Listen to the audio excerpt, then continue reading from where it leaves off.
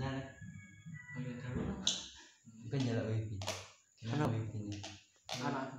Nembak sekolah.